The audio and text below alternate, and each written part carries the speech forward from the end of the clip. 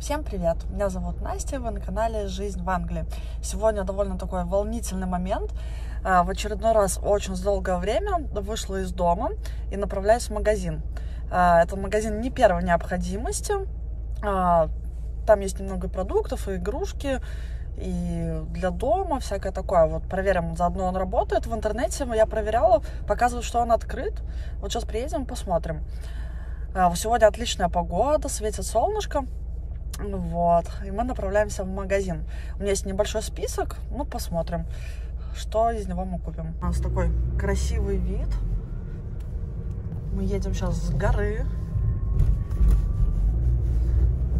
Вот люди ходят по улице. Вот пока я ехала, уже одна машина скорой помощи приезжала.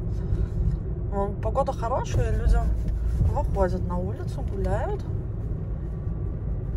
Просто погулять у нас разрешено выйти немножко прогуляться. Погода вообще классная.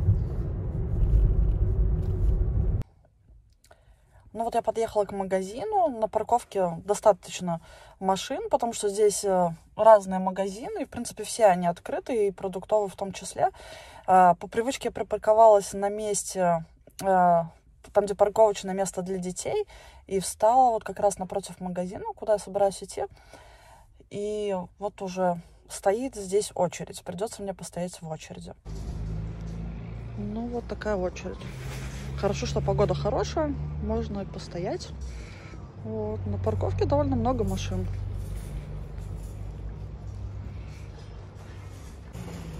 Вот. На входе еще стоит женщина в жилете, которая протирает все корзиночки для новых покупателей. Попробую приблизить. Вот. Я уже подъехала к дому. А, Все заносить даже в дом не буду, потому что там а, сюрпризики для Макса. У него скоро день рождения. Ну вот, не знаю, где они сейчас, на втором этаже или на первом а, чтобы дети сразу не накинулись на пакет. Немножко покажу, что купила. Как бы самой главной целью было съездить купить, скоро же Пасха, да, и, не знаю, по английским традициям точно, такая традиция для детей, по Гардену или где-то на улице спрятать шоколадные яички или конфетки, и чтобы детки ходили с корзинками и собирали.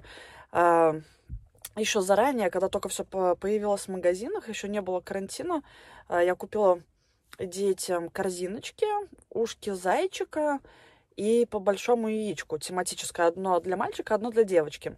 Вот, но шоколадных яичек мы так и не купили, поэтому вот как бы католическая Пасха уже прошла, но я надеялась, что еще что-то будет в магазине. Вот, и сейчас покажу немножко, что купила. Так, вот такие две упаковочки яичек, только я не нашла, сколько тут внутри. А, вот такие вот шоколадные. И где-то 12 яичек вот таких, чтобы они тоже поискали. Не знаю, как там получится всех их вытащить или нет. Вот, Максику еще купила такую маленькую машинку, а Никуське такого маленького мишку. У нас была традиция, а, каждый раз, когда мы едем в магазин, чаще всего, 99% Максик спрашивал маленькую машинку. И сейчас мне его стало просто жалко, потому что Макс говорит, мама, давай, когда закончится карантин, мы пойдем в магазин и купим машинку. Вот, поэтому купила Максику машинку, ну и Никуски, соответственно, вот такого мишку. Так, а еще вот такая штука. А, только единственное, вот я поздно посмотрела, там надо 4 батарейки. Надеюсь, что у нас дома будет. Я так подумала, что это я вручную надуваю шарики, можно спокойно включить такую штуку и пускай балдеет. Вот сегодня проверим на деле. Так, ну вот, мы достали сюрприз. Ника пошла спать, мы ее не дождались. Никуська увидит сюрприз потом. Вот, сейчас будем открывать и проверять, как это работает, да, Максюшка? Ну вот, после пятиминутных открываний, там было столько шурупчиков всяких, нам понадобилась и отвертка, и что там только не понадобилось, да, Максюшка? Да, и вот такое счастье, да, пузырики.